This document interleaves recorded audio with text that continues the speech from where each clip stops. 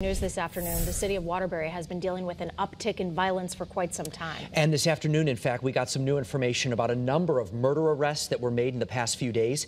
Channel 3 Eyewitness News reporter Mark Robbins is joining us right now from Waterbury Police Headquarters with the latest this afternoon. Mark?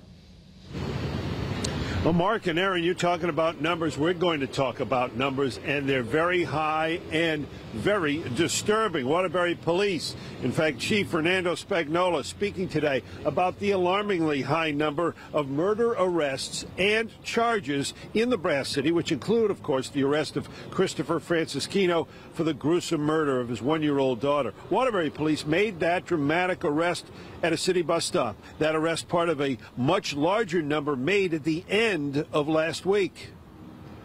Thursday and Friday last week here in Waterbury, seven people were arrested and booked on murder charges. We take a look at uh, at these people that are responsible for committing these homicides uh, that, that, are released back in our community.